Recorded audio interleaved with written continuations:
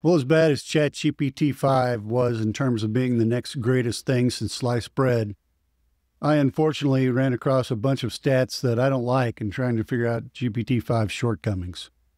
Daniel Miessler, one of the smartest security researchers alive, just published his warning, and he sums up my thoughts after my digging, digging around a little bit.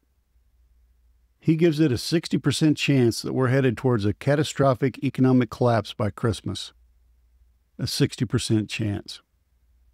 And after learning about NVIDIA's new world models, Meta's self improving AI, and 70,000 tech layoffs in just seven months so far this year, I tend to agree with him. Let me show you the acceleration. In 2022, 93,000 tech layoffs, 23, 200,000 tech layoffs. In 24, 150,000, and 25, 70,000 in just seven months. We're on track for 120,000 by year end during an AI boom. And these aren't low performers. These are senior guys, you know, that, that make 200 grand a year that are being let go and uh, decade decade long careers ending in silence. Um, the the the telling part, the tell really isn't in the layoffs. It's who's getting laid off. Uh, Salesforce CEO, you know, we've talked about that. They said no new software engineers in 2025. Why? Because AI does 50% of their work already. And our debt as Americans certainly isn't helping us. Americans now 1.21 trillion with a T in credit card debt. Average household has $10,668 in debt at 22.25% interest. That's a little bit on the high side. But we all know, we've all looked at those statements. We know we're paying that. Nearly one in 10 can't make minimum payments and are delinquent. Microsoft, 30% of coding done by AI. Salesforce, 50% of work done by AI bots. Google investing 9 billion in Oklahoma AI data centers and infrastructure. Nvidia just unveiled Cosmos, AI that understands physics, memory, and can plan actions in the real world. Not virtual worlds, real worlds. We're not talking about simulations here. We're talking about real robots in the real world. I know I see the comment sections and I agree with you. Robots doing backflips and uh, karate moves and all that's great. But how does it do in the real world? Well, you can look it up. They're still on the slow side. But if you compare where they were this time next, uh, last year, it's night and day difference, right? And that's the problem. They're not, they're not static. It's not staying at this level. They are making improvements day by day. You know, and the AI right now is ahead of the the physical, right? The physical body of the robot, but the physical is catching up with the mental, the AI part. We call that the mental part, I guess. Cosmo Reason has 7 billion parameters for physical AI applications, robots that actually work. Combined with our new RTX Pro Blackwell server, this is AI that moves, builds, and replaces us human types. I'm full of good news today, aren't I? Mark Zuckerberg of Meta just said his AI systems are improving themselves without human input. He called it the first step towards artificial superintelligence, ASI. M O U S E. Academic proof, the Gödel agent and we've talked about that before. It rewrote its own code and outperformed, outperformed human design systems in coding, math, and reasoning. We've crossed that line. We're by it. AI isn't waiting for us to improve it anymore. It's just going to do it on its own. It's going to improve itself. Sam Altman of OpenAI is funding Merge Labs at an $850 million valuation to compete with Neuralink, Mr. Elon Musk's project. You've probably seen those videos. If you haven't, look them up pretty interesting. Uh, attaches right into an interface into your brain, kind of like if you ever watched Star Trek, Commander Data, you know, would be plugged in.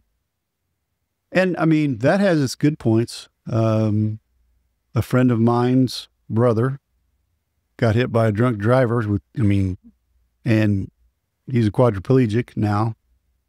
Nicest guy you ever want to meet. Um, kind of a kind of a believer in raising your own food and care, taking care of yourself type. Um, he and his wife have a store uh, that sells homegrown vegetables that are homegrown homegrown food that are brought in from the, the area, and they sell it there in their store.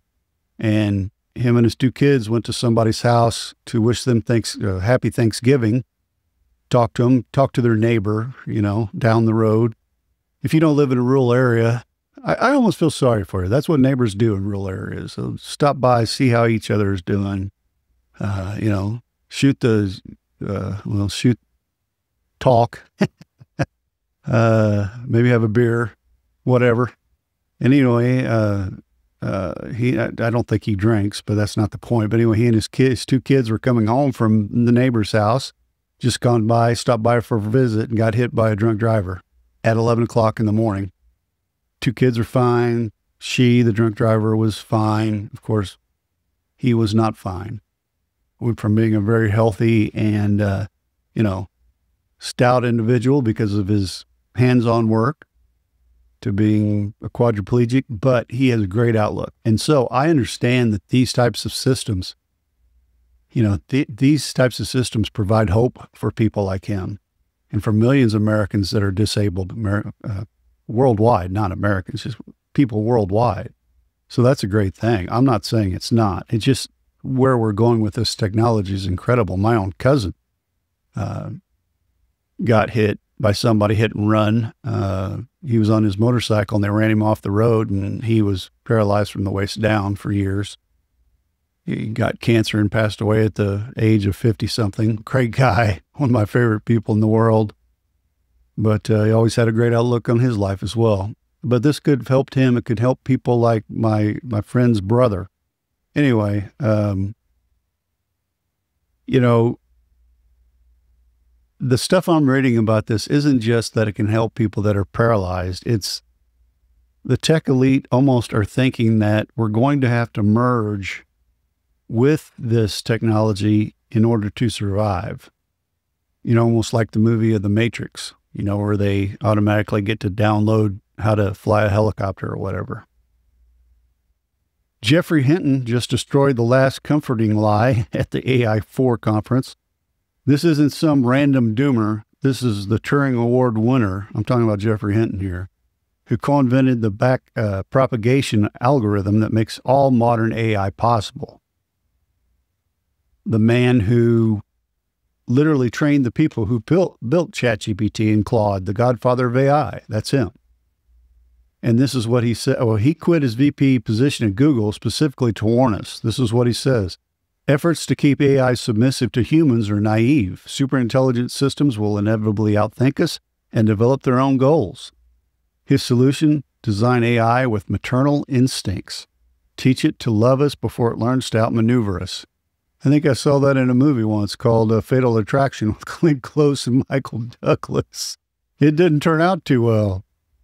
The godfather of AI is telling us AI can't be controlled. His best hope, maybe it will love us like its children. Oh, that's special. It's not a strategy, that's a prayer. That, you know, that's the power of love.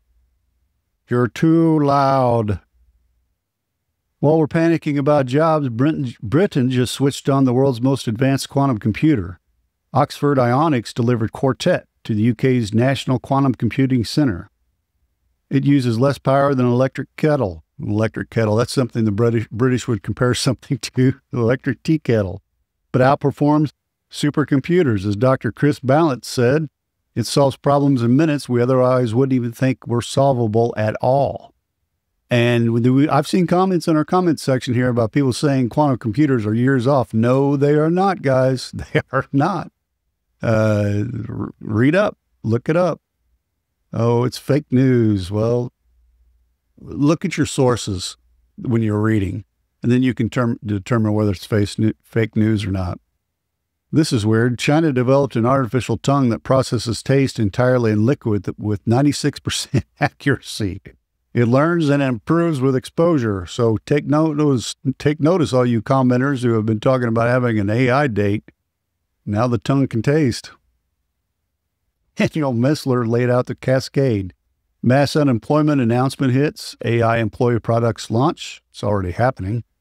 Credit default spike, business fail from lack of customers, evictions and foreclosures explode, social unrest begins. And he gives that a 60% probability by Christmas. So watch for these things in the next 60 days. A major company announces 50,000 layoffs or more. An AI platform shows it can replace entire departments. Credit card default rates hit 15%. First mass evictions hit the news. Any one of these could start the cascade. You know, in our previous recessions, like in 2008, what did we do? We bailed out the banks. They were too big to fail. Fine with me. Saved my job. 2020, print money, work from home. 2025, what do we do when humans are obsolete? I don't know. You know, you can't stimulate an economy when humans aren't needed. By November, unemployment could hit 15%. AI agents will be, do- be doing most white collar work. Credit markets will freeze, social fabric will tear. The te- tech elite know why. You know, that's why Altman's building this brain interfaces. That's why uh, Zuckerberg's teaching AI to self improve and expanding his $300 million estate on Kauai by uh, a thousand more acres. Neighbors are not happy about that. And it's why Hinton, the godfather of AI, is praying AI develops maternal instincts. New mommies and daddies. You know, fellow Gen Xers, we've been through recessions. This isn't a recession. This is a replacement. When workers become obsolete, credit cards become uncollectible, and businesses have no customers, what happens? Well, we're about to find out.